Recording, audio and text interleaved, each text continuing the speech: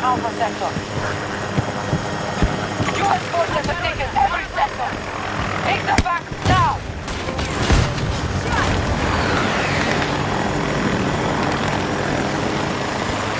Alpha